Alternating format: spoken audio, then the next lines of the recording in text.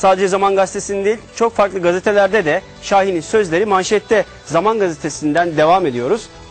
Zaman Gazetesi'nde çok güzel bir haber var ve onun ayrıntıları var. Biliyorsunuz Amerika Birleşik Devletleri'ndeki Türk okullarından Pinnacle Academy öğrencileri Beyaz Saray'da ağırlandı.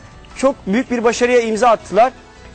Gazetenin ilk sayfasında Türk öğrencilerin başarısını Beyaz, Beyaz Saray'da kutladı diyor. Haberin ayrıntısında ABD Başkanı Obama'nın Beyaz Saray'da ağırladığı misafirlerin arasına Türk iş adamlarının Washington'da kurduğu özel Pinnacle Akademi'nin öğrencileri de dahil oldu.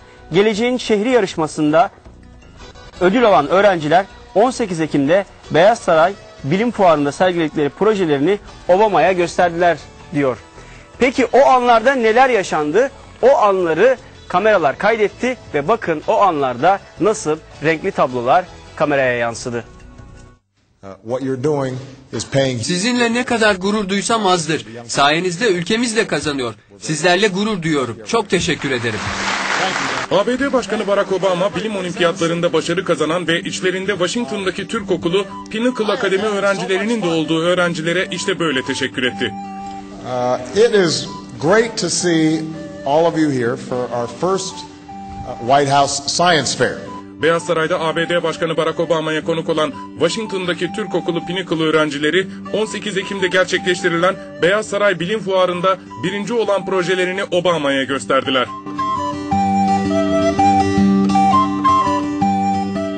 Öğrencileri çalışmalarından dolayı tebrik eden ABD Başkanı, şampiyonların zaferlerini kutlamak üzere Beyaz Saray'da olmalarından memnun olduklarını söyledi. All the young people are here, İleride Nobel ödülleriyle tekrar gelmenizi istiyorum. Size ilham olan öğretmenlerinize de teşekkür ediyorum. uh, in the meantime, just keep on doing what you're doing. Beyaz Saray'da Başkan Obama'ya projelerini anlatan öğrenciler de Beyaz Saray'da olmaktan mutluluk duyduklarını söylediler. Pinnacle Akademi öğrencileri Virginia'da Şubat ayında gerçekleştirilen Geleceğin Şehri yarışmasında 19 kategoride yarışarak 12 takım arasında birinci olup 2 altın, 2 bronz ve 2 özel başarı ödülü kazanarak başkent Washington eyaletini temsil etme başarısını göstermişlerdi.